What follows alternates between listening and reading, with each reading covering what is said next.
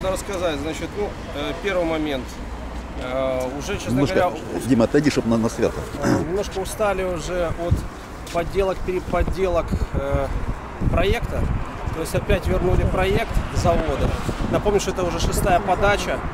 Э, При этом, э, чтобы все понимали, завод уже стоит, построены полтора года. Никакого нового газочистного оборудования туда не ставится. Все эти э, подачи, якобы переработка проектов, это фикция, это подгонка под желаемый результат заказчика. То есть заказчик построил завод, его надо как-то ему запускать. И э, все вот эти переделки проектов, на самом деле, они ничего общего с реальной переделкой завода не имеют, потому что никакого газочистного оборудования дополнительно не ставится. Просто подаются документы э, для того, чтобы данный э, завод запустить. И они перепадали документы через день, как забрали. Ну, чтобы было понятно, в истории еще не было, что за один день перерабатывался полностью проект. То есть невозможно такой серьезный завод, впервые в Беларуси, инновационный, за один день полностью переделать. Э, Ведь как происходит переделка э, всего этого проекта? Опять предоставляются недостоверные данные, на основании подделок что-то пишется. Но почему госчиновники, у них уже был опыт, когда э, запускали завод, этот, запускали наладочную работу, они увидели те десятикратные, стократные превышения. Почему они не прекратят весь этот цирк? Они видят реально, что построено. Они видят, что им подается. Ну, завод не, не меняется физически. Газочистные остановки, которые были, такие остаются. Почему они продолжают этот цирк? Ну, на мой взгляд, очень серьезное лоббирование идет а, данного вопроса. И по- по-другому никак. Ведь если посмотреть так вот просто, вот чтобы там же люди в экспертизе не глупые сидят. А им же тоже себя дураков, когда мы звоним им строить, ну, как бы не очень приятно, я так подозреваю. Ну, И они должны сказать честно, что данный завод не дееспособен, он не, не жизнеспособен на данной территории в таком виде, как он построен. Когда у них будет эта смелость, когда прекратится лоббирование, не знаю. Вот. Второй момент, это, который хотелось ответить, это опять подделка на подделку, которую вывесил iPower по документам. Якобы они получили какие-то документы, подтверждающие подделки, которые мы выявили. Чтобы всем было понятно. Первый проект Агромаш детали и второй проект о э, НПФ экология базируется, я ответственно это заявляю, на подделках, на поддельных данных. Мы просим дать. То есть вопрос в чем, что дайте паспорта на оборудование. Дайте паспорта на оборудование, которое вы установили. Не которое в проекте заложено альтернатив, а которое установлено, смонтировано, которое проходило пусконаладку. Где эти паспорта? В этих паспортах все написано, какие выбросы, как оно работает. Вместо этих паспортов нам какие-то бумаги предоставлены с пропущенными страницами и какие-то э, данные написаны были с печатями, допустим, производства э, в- в Испании, в Южной Корее, а подписи печати в Дании. Что сделал iPower? iPower нам показывает какой-то конверт DHL Express, полученный с Китая, который подтверждает датские печати. Вдумайтесь, то есть датчанин э, говорит о правдоподобности своих подписей и по письму из Китая, которое пришло. Причем еще интересно, там подпись стоит им 13 марта 2020 года. 13 марта 2020 года, что он на это письмо написал. А письмо получено 20 февраля. То есть вы понимаете, о, проф- непрофессионализм iPower даже в подделке, ну, просто огромный.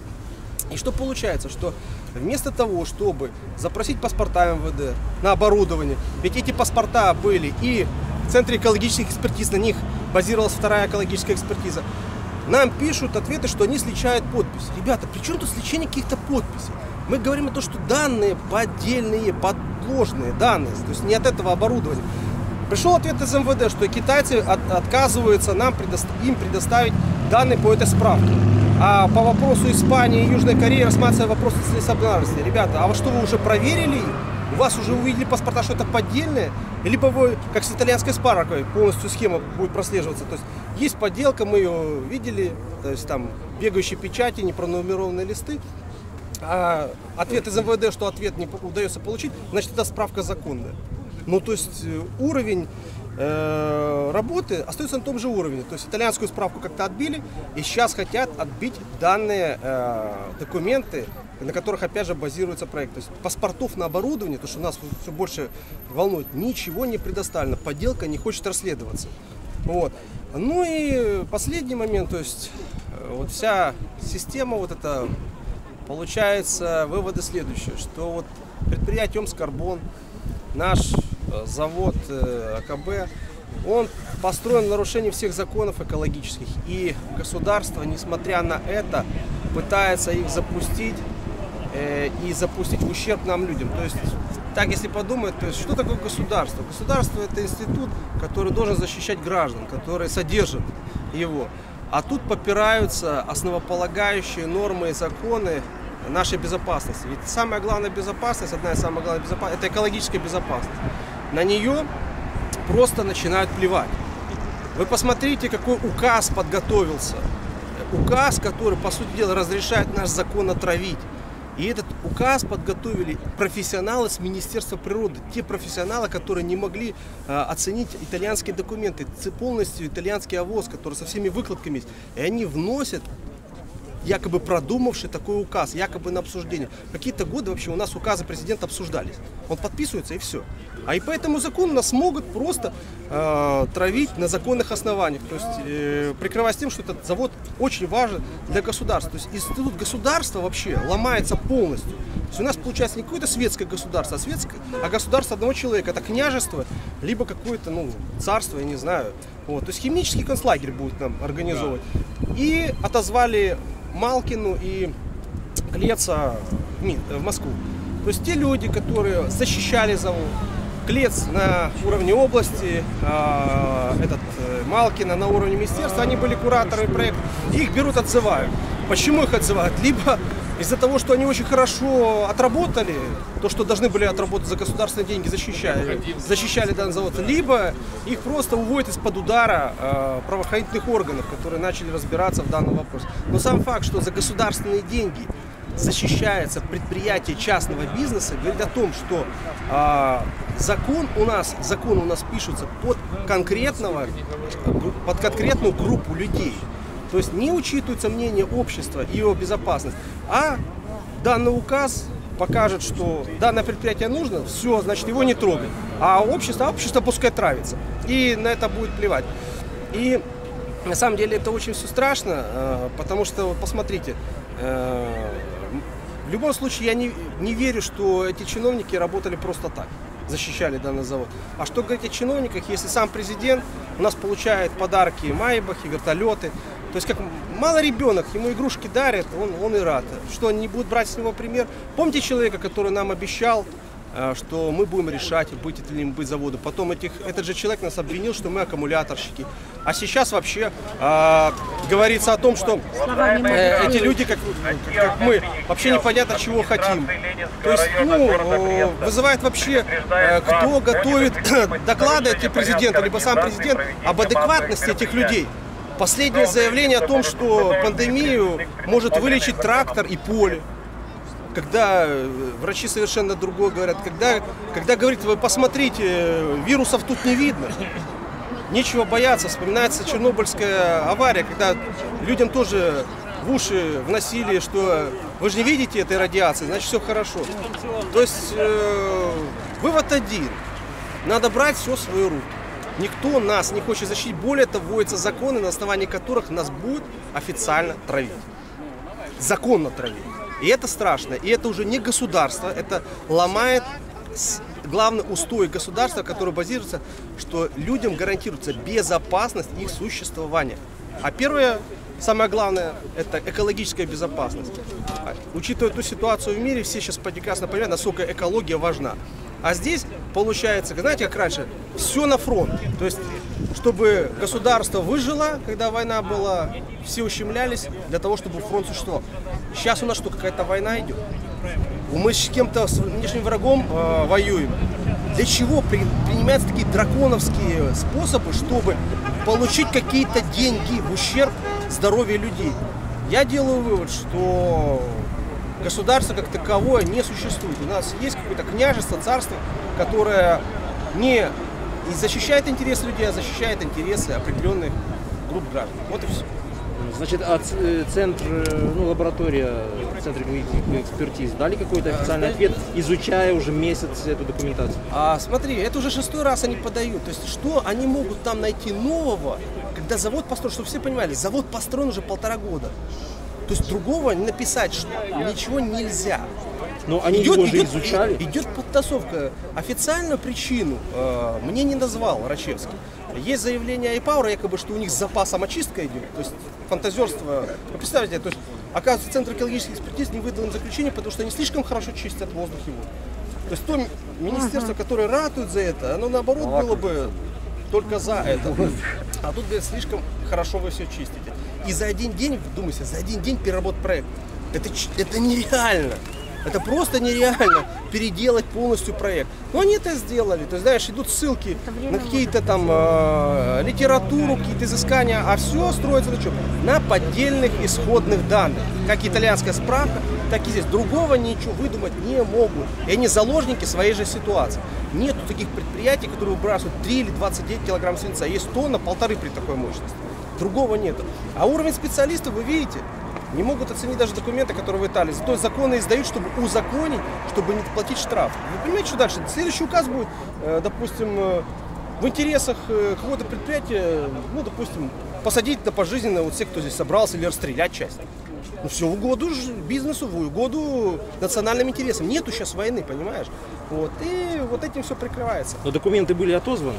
А документы были отозваны в последний день, потому что было подписано отрицательное заключение.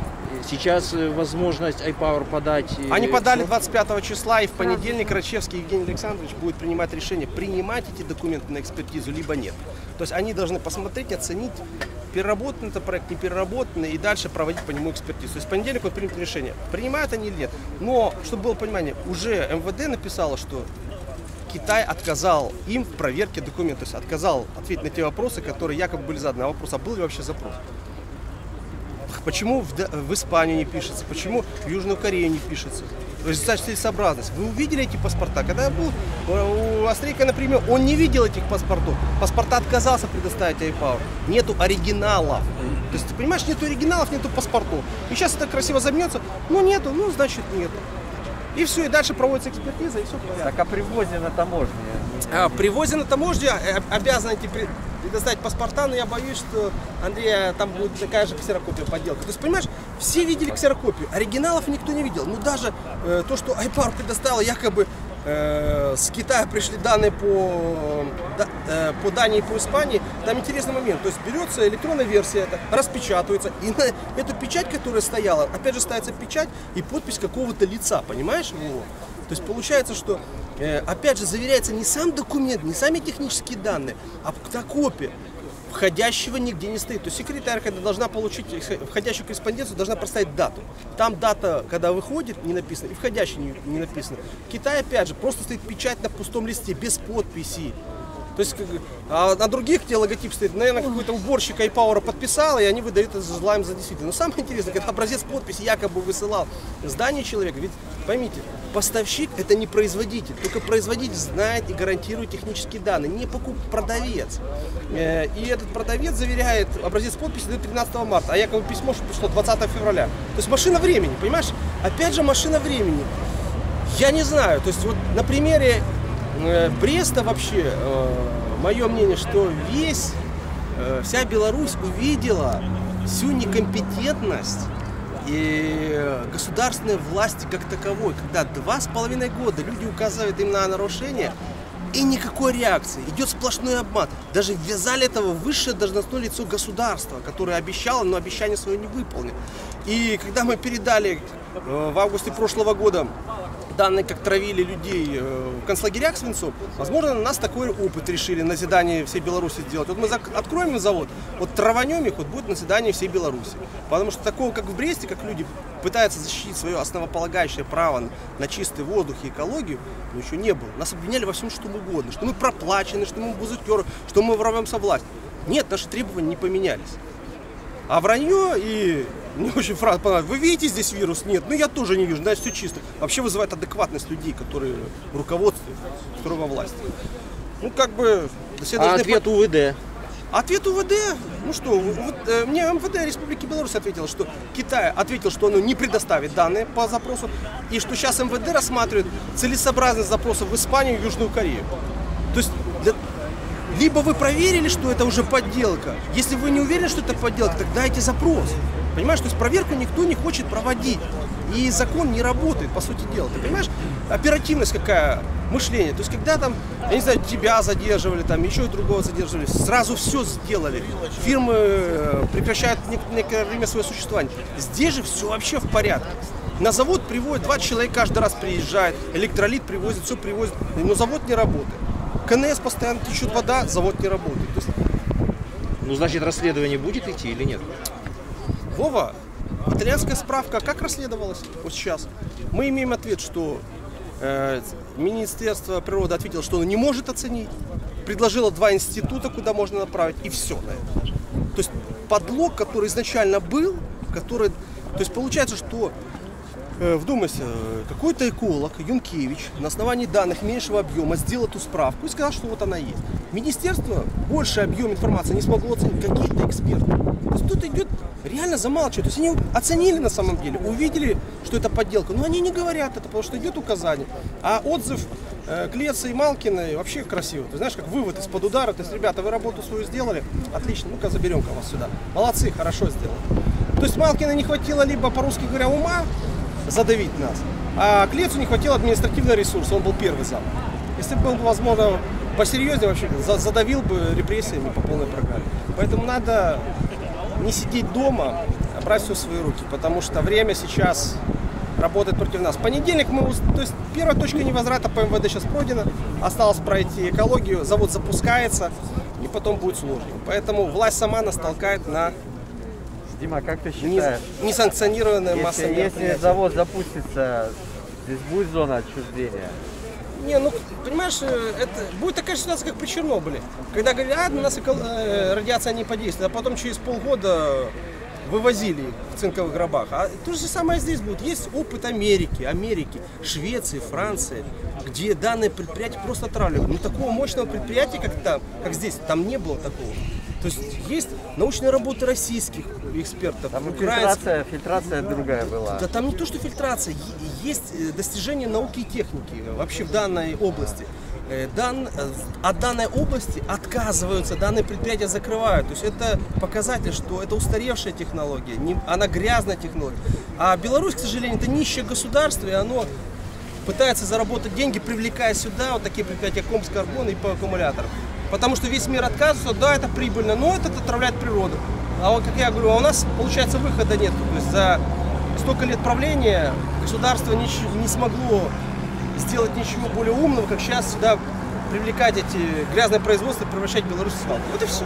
Я смотрел ролик про закрытый завод Оксайд в Штатах. Там э, им пришлось, чтобы ликвидировать последствия, заменить почву в двух тысячах подворьях.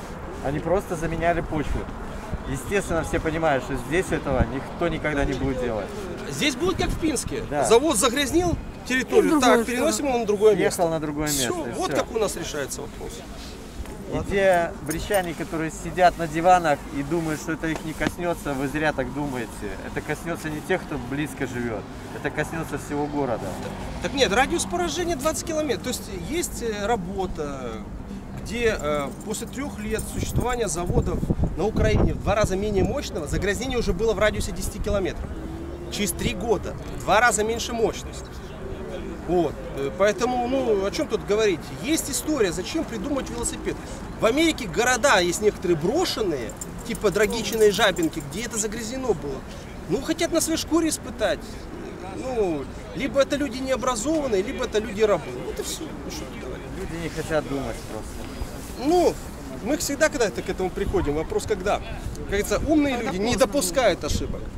Э, раз- чужих ошибках. Да, разумные предотвращают ошибки. А вернее, глупые разгребают ошибки. Умные предотвращают их. А очень умные не допускают их вообще. А у нас такое впечатление, что не два раза на грабли хотят, а три раза на грабли. И самое главное, и это узаконить.